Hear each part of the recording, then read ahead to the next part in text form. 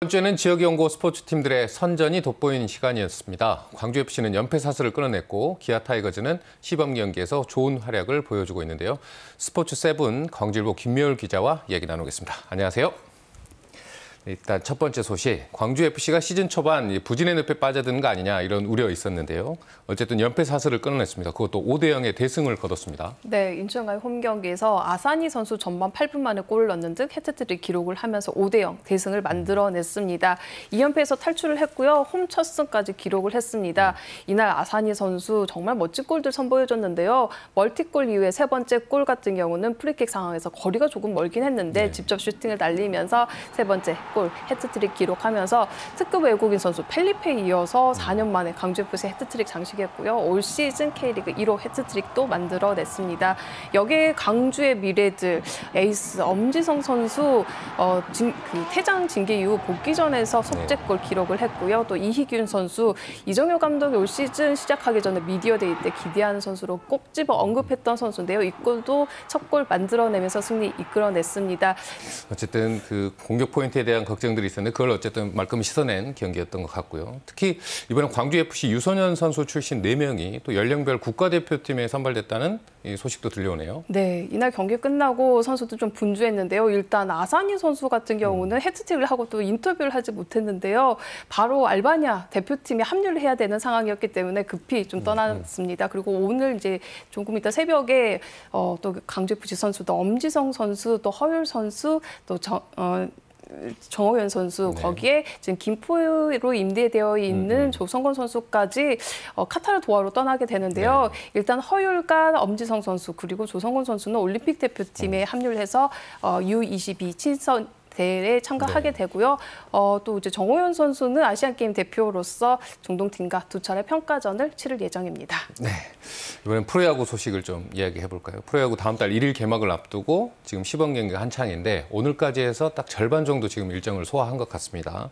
기아의 시범 경기 성적 어떤가요? 네, 14경기 치르게 되는데요. 7경기 오늘 마무리가 됐고요. 성적이 4승 어, 1무 2패 기록을 음. 하고 있습니다. 오늘 경기 앤더슨 선수가 두 번째 등판에 나섰고 있고요. 첫 등판 키움전에서 60개의 공으로 3.2이닝을 소화를 했었는데 네. 오늘은 67개의 공으로 5.1이닝까지 네. 좀 이닝 좀 효율적인 투구를 했습니다. 또 뭐 오늘 이제 불펜을 음. 보시면요. 앤더슨 선수 이어서 이준영, 김기훈, 김대유 또 최지민 선수가 나왔습니다. 모두 왼손으로 공을 던지는 자완으로만 불펜진을 운영했는데 이 장면 지금 시범 경기에서 계속 보실 수 음. 있습니다.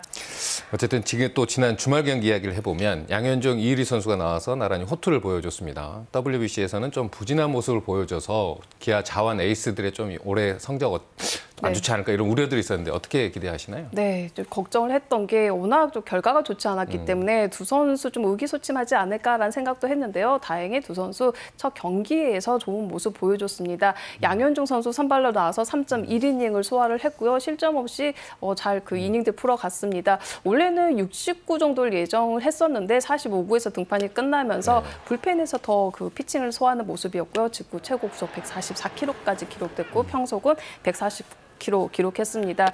어, 양현종 선수 좀 이게 스피드는 아쉽다라고 이야기를 했는데 차근차근 시즌을 준비하면 될 것 같다라고 이제 소감을 밝혔고요.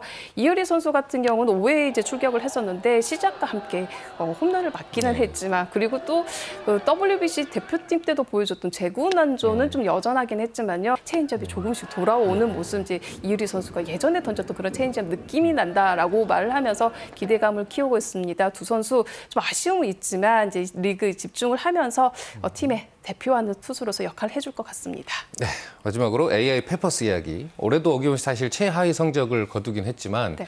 마지막 게임에서 그래도 승리를 거두면서 팬들한테도 네. 깜짝 선물이 됐을 것 같습니다. 어땠나요? 네. IBK 기업은행과의 마지막 경기 있었는데요. 이 경기 마지막 딥집기 쇼를 펼치면서 역전승 네. 기록을 하면서 올 시즌 마무리를 했습니다. 말씀하신 대로 올 시즌 성적은 좋지 못합니다. 네. 5승 31패 승점 14로 마무리가 됐는데요. 지난해보단 조금 더 승, 승점이 많아지긴 했지만 돌아보면 전체적으로 아쉬움이 더 많은 시즌인데 시즌 초반에 17연패도 기억하고 계실 겁니다. 심기 일정 마지막 그래도 유종의 미는 시즌 거뒀기 때문에 새 시즌은 좀 준비를 잘했으면 하는 바람이고요. 새 시즌은 30대 외국인 감독, 아예 행킹 감독으로 네. 새로운 체제로 시즌 준비할 예정입니다. 네, 오늘 소식은 여기까지 듣겠습니다. 광주일보 김여울 기자였습니다. 감사합니다.